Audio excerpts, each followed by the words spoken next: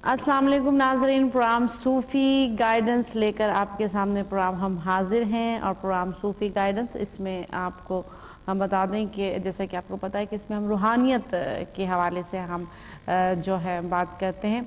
और ये बता दें कि ये programme advertisement and entertainment programme है, जो टीम आपके लिए पेश कर रहा है। अगर आप हेल्थ के हवाले से जानना चाहेंगे तो हम कहेंगे आप अपने जीपी डॉक्टर से रबते में रहें इसी तरह कोई लीगल प्रॉब्लम तो अपने सॉलिसिटर से जो डिफरेंट इशू और जो मैटर्स होते हैं, उनके लिए आप जो उनके स्पेशलिस्ट हैं, माहरीन हैं, जो उनके एडवाइज़र हैं, आप उनसे रबते में रहें और नाजिन आपको ये भी बता दें कि प्रोग्राम सूफ़ी गाइडेंस जैसे कि आप जानते हैं कि इसमें हम सूफीज़म के हवाले से बात होती है, रूहानियत के हवाले से बात होती है। आप इसमें अपना नाम और अपनी वालदा का नाम बता के आप हिसाब करवा सकते हैं। और एक और नंबर आ चुका है आपके लिए स्क्रीन पे, और ये भी हम बता दें कि अगर इसमें जब आप कॉल करते हैं तो 18 प्लस यानी अठारह साल से जायद उम्र के अफराद जो हमारे साथ शामिल हो सकते हैं। और अगर आप किसी और के हवाले से जा रहे हैं तो परमिशन के साथ विद परमिशन आप उनके बारे में पूछ सकते हैं। और जनाब, प्रोग्राम का आगाज़ हो चुका है और हमारे साथ हमारे प्रोग्राम के जो हैं मेहमान भी मौजूद हैं। मेहमान तो नहीं कहेंगे, काफ़ी अरसे से हमारे साथ यहाँ पे हमारे, हम लोग फरमाइश पे, आपकी फरमाइश पे यहाँ पे मौजूद हैं। और जो रूहानी स्कॉलर हमारे साथ और इनका अगर तारफ़ कराएँ तो किसी तारफ़ के मोहताज नहीं, क्योंकि काफ़ी इनकी जो फैमिली से ये रूहानियत जो है चली आ रही है। हमारे साथ मौजूद हैं शाह साहब उनको वेलकम कहते हैं। अस्सलाम वालेकुम शाह साहब। कैसे हैं? कैसे अल्लाह का करो वही तारुफ कराना हमने कहते हैं कि ज़ाहिर बात है आपकी पूरी ख़ानदान सब जानते हैं आपको। फैमिली में आपका ये है तो आप काफ़ी खदमत खल कर रहे हैं रूहानियत के हवाले से बता रहे पढ़ने के लिए वज़ाइफ आप बताते हैं। पूछने के लिए हमारा कोई ना कोई टॉपिक भी होता है वो भी हम उस पर भी बात करते हैं। तो आप कोई वज़ाइफ जानना चाह रहे हैं, किसी ख़ास काम के लिए कोई इस्तारा कराना चाह रहे हैं, जैसे कि इसमें आपको कुरानी इस्तारा कराना चाह रहे हैं तो वो भी आप करा सकते हैं, कोई ख़ास काम, जैसे कि आप डिफरेंट ऐसे मैटर्स होते हैं, कोई जो इंसान की समझ जो कहते हैं ना कि जब काम नहीं कर रही होती कि क्या करें तो ज़ाहिर बात है इस्तारा एक बनाया गया है कि आप अल्लाह से मशवरा कर सकते हैं तो वो आप अगर करवाना चाह रहे हैं इस्तारा कुरान इस्तारा तो वो भी आप करा सकते हैं। कोई वज़ाइफ पूछना चाह रहे हैं किसी ख़ास काम से, जॉब नहीं मिल रही या घर में रिस्क के लिए, कोई बरकत के लिए पूछना चाह रहे हैं, घर में परेशानी, उसके वास्ते कोई वज़ाइफ जानना चाह रहे हैं तो वो आप जान सकते हैं, सोन जानना चाह रहे हैं, वो भी आप जान सकते हैं। तो हमारे साथ शाह साहब मौजूद हैं और शाह साहब जैसे मैं इस्तारा की बात कर रही थी कि इस्तारा आप जब इंसान की समझ नहीं आ रही होती तो इंसान कहता है कि अल्लाह ने कहा कि इस्तारा का एक जो एक एक है ऑप्शन तो आप ये बताएँ कि इस्तारा के क्या इख्तियार होते हैं? है इस्तारे का ये है कि इस्तारा होता है कि पूछना किसी से। तो जैसे कि लफ्ज़ी माने ये कि पूछ लो किसी से। मगर ये ध्यान रखा जाए किससे पूछा जा रहा है। हम्म। क्योंकि किताब जो है वो अल्लाह की है। मैं कुरानी इस्तारे की बात कर रहा हूँ, तस्वीर वाले की नहीं कर रहा। वो मैं बाद में उस तरफ़ आऊँगा। कुरानी इस्तारे का ये कि किससे पूछा जा रहा है? भाई कुरान से पूछा जा रहा है। किताब किसकी है? अल्लाह की है। इसका मतलब अल्लाह ताला से पूछा जा रहा है। अब फॉर एग्जांपल जो है, एक मिसाल देते हैं कि आप जो है इस्तारा निकलवाते हैं कि मैं जो है पाकिस्तान जाऊँ या ना जाऊँ। ये सफ़र सूटेबल होगा या नहीं होगा? ठीक है। मैं इस्तारा निकालता हूँ कुरान से। उसके अंदर जवाब आता है कि चले जाओ। इसका मतलब ये नहीं है कि कुछ बुरा नहीं होगा। अच्छा ये भी एक बात भी होती ना कुछ, जैसे कि कोई रिश्ते के से जा रहे होते, सफ़र करना चाह रहे होते। हैं या फिर कोई कहते हैं कि घर खरीदना है हमें जाके या कोई हमने बिज़नेस करना है या हमने जॉब करना है तो वो सफ़र अलहदा होता है एक दूसरा सफ़र ये, सफ़र अलहदा है। हम्म। ये तो मैंने बहुत नेम से एग्जांपल दी जैसे आप कह रहे हैं हम्म। ये कॉम्प्लेक्स चीज़। है हम्म। इस्तारे में ये होता है कि अल्लाह ताला की मर्ज़ी को शामिल हाल कर देते हैं। भले नुकसान हो या फ़ायदा। देखें लाजमी नहीं है कि हर काम में मुझे फ़ायदा हो या आपको फ़ायदा हो। कुछ चीज़ों में ये होता है कि अल्लाह ताला की खुशनुदी भी हासिल हो जाती है। जैसे कि आपने समझ लें कि फॉर एग्जांपल सब कुछ गवाने के बाद भी सब कुछ पा लिया।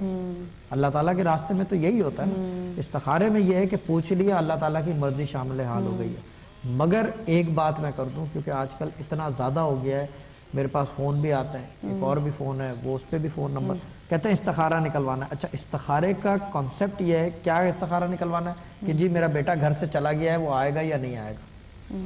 ये इस्तारा नहीं होता वो। वो ये कि मैं कुरान से ठीक है मैं देख के निकाल दूँगा। लेकिन अगर आगे हिसाब होता है। वो हिसाब होता है वो एक अलग चीज़ है वो हिसाब है वो एक अलग चीज़ है। उसके लिए जो है न्यूमरोलॉजी का इस्तेमाल किया जाता है या मुख्तलिफ़ साइंटिफिक जो लोग इस्लामिक न्यूमरोलॉजी उरूफ अबजद। बाकी इस्तारे की जहाँ तक बात है हाँ या ना तक तो ठीक है। आप निकलवा लें कुरान से ठीक है ना? एक चीज़ के बारे में तीन दफ़ा की इजाज़त है इस्तारा निकलवाने की। कि आप तीन दफ़ा पूछ लें उसके बारे में कि ये मैं जाऊँ या अगर पहले ना आ गया फिर थोड़ी देर बाद रुक के दो रकत नमाज़ जो है क्या कहते हैं ये देखें निकालने वाले के ऊपर है वो कितनी ताकत है उसकी। अब अब मैं आपको मिसाल दूँ कि अली हैदर साहब थे जो हमारे वालिद के पीर मुर्शिद थे। वो इस्तारा निकालते थे वो पहले से बता देते थे कि जवाब ये आएगा।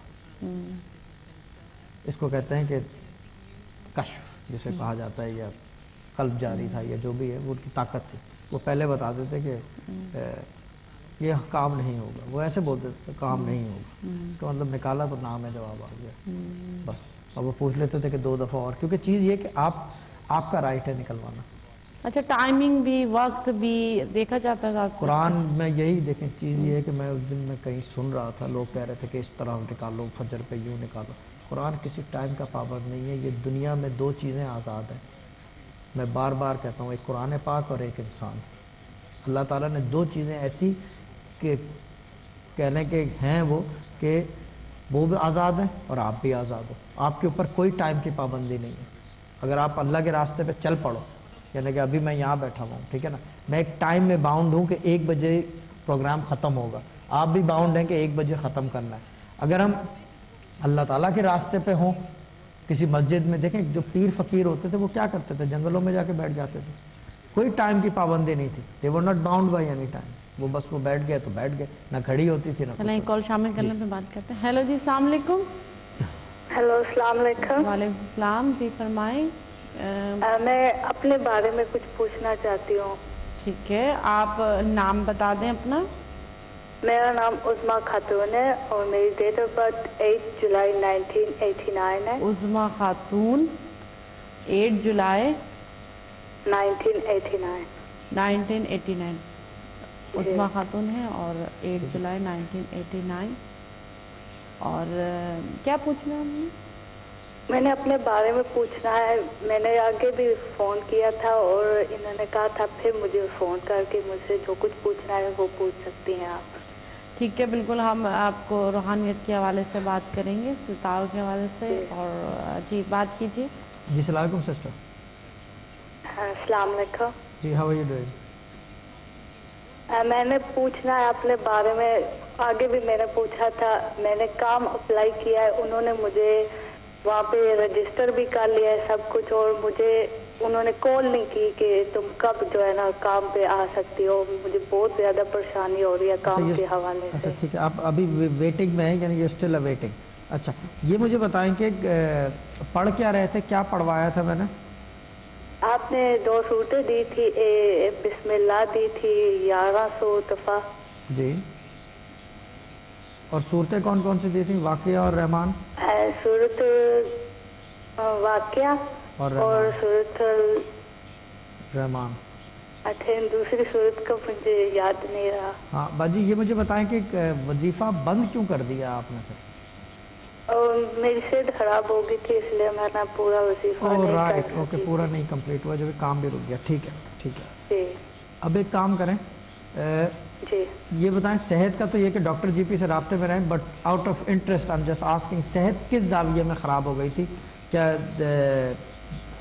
नज़ला ज़ुकाम हो गया था।